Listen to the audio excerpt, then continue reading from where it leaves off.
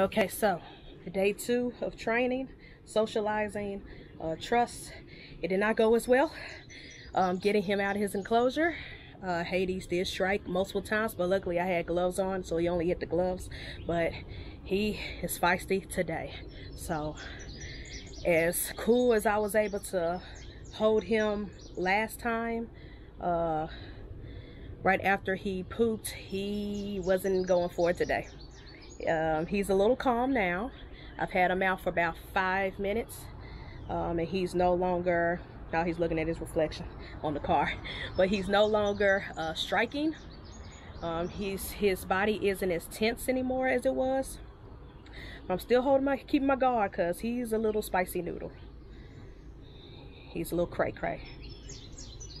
Uh, so, but he is so beautiful. He has way more spots than Morticia and uh, Jimmy does as far, and they're all like normal BCIs. Uh, Morticia Central American.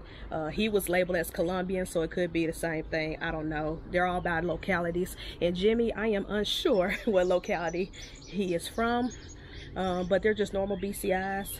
That's all I just say, normal BCIs uh, for all three of them. But he has way more spots on his bodies. For a second, I got scared and thought it was like the mites.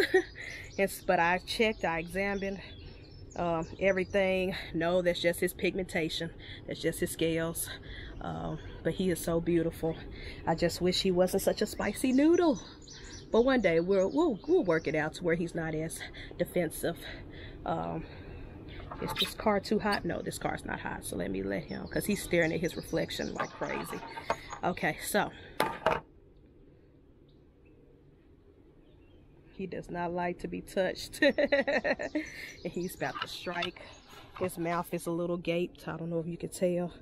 His mouth is a little agape. That's from when he bit me, my glove last time. So I'm keeping a distance, but because he might pop off at the camera again, but and the car isn't too hot for him right now. Whew. Oh, he got a little too close to my finger. He, he, whatever hand I'm holding him with, he keeps trying to get to the other hand. He's a smart little boa. I tell you that. Very smart. But I'm keep working with him. I'm not giving up. It's gonna take some time. It's gonna take patience, but he will get socialized sooner